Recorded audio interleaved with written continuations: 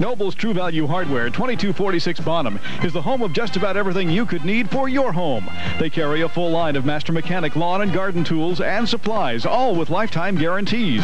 A large selection of Tru-Test paints, housewares, plumbing and electrical supplies, heaters and small appliances. They'll custom mix paints at no charge, and they can make duplicate keys for just about any use, including foreign cars.